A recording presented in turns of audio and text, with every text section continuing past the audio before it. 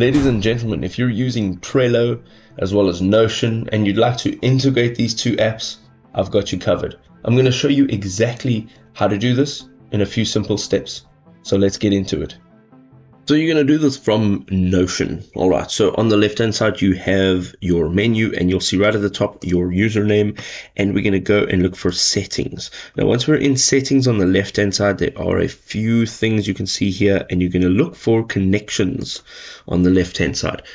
From connections, you'll be able to dial in the name of the connection. So you can see here it says all connections and here are your connections. Just at the bottom, you'll see browse connections in gallery. This will take you to Notion's marketplace essentially. From here, we are going to look for Trello, and if we can't find it on the left hand side, we are going to dial in Trello. You'll find it in your search results, and simply on the right, you're going to say add to Notion. And from this page over here, you'll be redirected to your Notion account and back to this page. So all you need to do is scroll down. You'll see this Trello.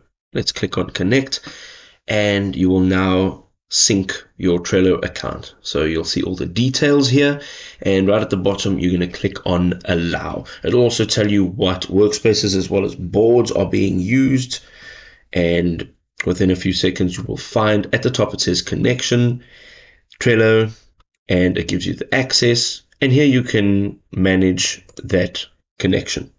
All right, let's go out here. We are going to refresh this page and let us go and use Trello. So I'm in the team space home and we're going to go down and let's just use the space and you are going to use a forward slash. So if you are scrolling down, you will find your list of things that you can add in here, we're going to go and look for the embeds. And here you will find Trello in this list. Let's click on that. And here you can paste a link to a card, board, or whatever else you'd like to integrate.